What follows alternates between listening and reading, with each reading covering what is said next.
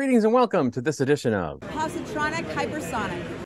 I'm Barry P. Cook, and I want to talk to you about the season finale of season four of Lower Decks. It was called Old Friends, New Planets. And as it starts, we get a flashback to Starfleet Academy, where Nova Squadron is discussing doing that Kolvoord Starburst maneuver that got everybody in trouble back in the episode The First Duty on Star Trek The Next Generation.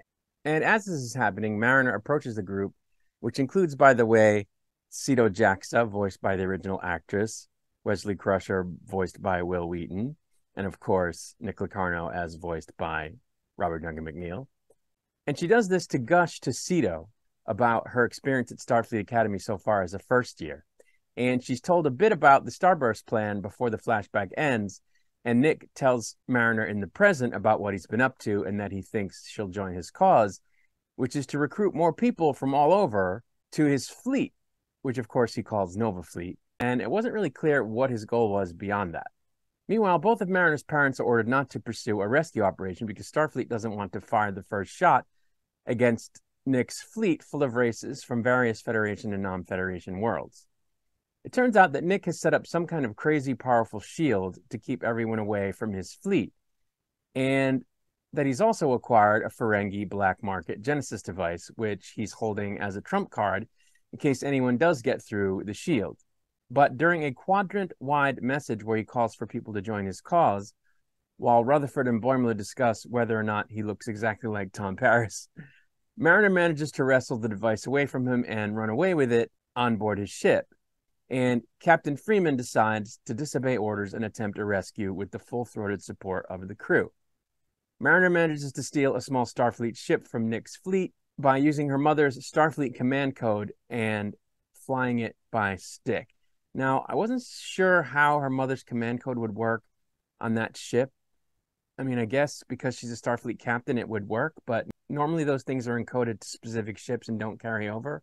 So I don't know about that. Anyway, while this is happening, the Cerritos goes to Orion to get Tendi's sister's help in the form of a ship powerful enough to get through Nick's shield. And when the captain is rebuffed, Tendi demands that the matter be decided by means of combat between her and her sister with the Cerritos as a prize. Mariner realizes that she can't get very far because of the shield, which keeps vessels in as well as out. So she heads for some space debris to hide and fends off a Ferengi ship after trying unsuccessfully to talk some sense to them about the situation, despite the fact that she quoted a rule of acquisition to them before having to sideline them by venting some coolant plasma at them. On Orion, Tendi puts the bird doctor guy, Dr. Migleemo, up as the Cerritos' champion against her sister's champion, whose name is Ba'eth, which is hilarious. And despite the fact that she instructed him to puff himself up, causing his down feathers to trigger an allergic reaction in Ba'eth, he loses the fight when she passes out on top of him. And the captain is asked to make good on the deal and turn over the Cerritos. But Tendi tells her sister that if she refrains from taking the Cerritos, she'll come back to Orion and serve under her, which she knows her sister has long wanted, in exchange for continuing with the deal to allow the captain to borrow an Orion ship and the sister agrees, only to end up giving them a ship that's non functional, which Rutherford and his rival Livik argue about and can't decide how best to quickly get the ship back in operation until, at T'Lyn's suggestion, they go to the Mark Twain holodeck simulation that Boimler and Rutherford always use to settle their disagreements by each pretending to be Mark Twain and hashing it out over a lemonade or a mint julep or whatever which enables them to form a consensus as to how to proceed. After the encounter with the Ferengi, Mariner's ship is damaged but still maneuverable, so she decides to take the Genesis device to a nearby lifeless planet in order to detonate it to keep it out of Nick's hands. But before she can do that, Nick's fleet catches up with her, causing her, in an homage to the Wrath of Khan, to flee into a nearby ion storm, which Nick himself chases her into, though the other members of his fleet refuse to do so. At which point he tries to convince Mariner that they're the same, but she points out that while she sometimes disagrees with orders, she still believes in the mission. And when he tries to invoke her friend Sito's death and blame it on Starfleet, she reminds him that what really happened was that she died doing something she believed in by choice. And that, and she also points out that it was he who got the member of his squad killed performing the Starburst maneuver, and that it happened because of his ego.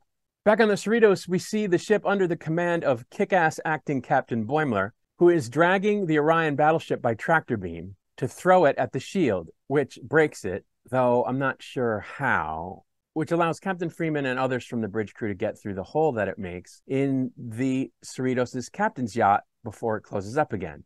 This, of course, caused all the members of Nick's fleet to abandon him completely, at which point he beams over to the Starfleet ship to try to get the Genesis device back, only to find that Mariner has already activated it, which he tells him only to find that he thinks he can disarm it. And as they're arguing, Captain Freeman beams Mariner away, and then Mariner insists that they beam Nick out as well, but they're unable to because he reactivates the shields.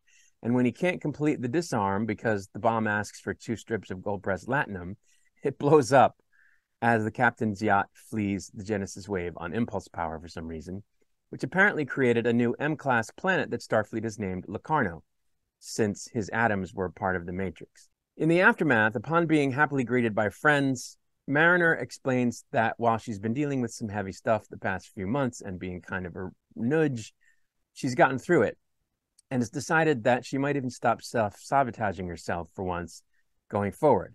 And as they all celebrate how things turned out as well as they did, and the fact that T'Lyn is determined not to go back to her Vulcan ship, Tendi's sister sends an Orion ship to collect Tendi, bringing about her departure from her friends and a particularly tearful goodbye with Rutherford.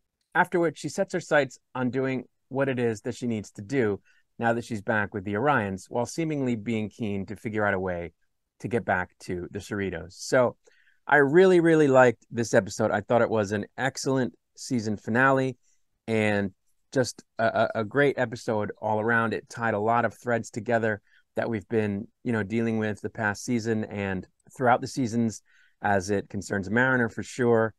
And it just was really well done. They revisited some of the funniest stuff from the season when they went into the Mark Twain holodeck simulation.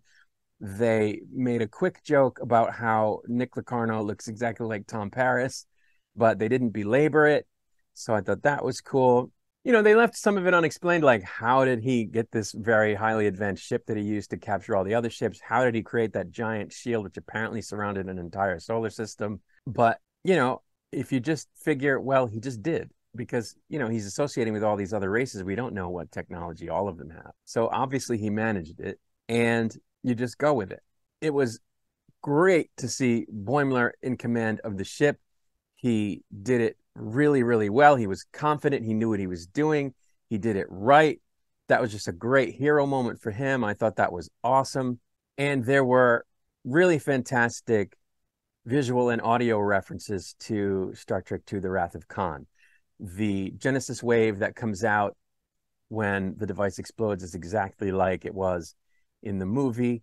The scenes in the Ion Storm were like a shot for shot recreation of the Mutara Nebula sequence from that same movie or or you know of parts of it. So it just was really really great.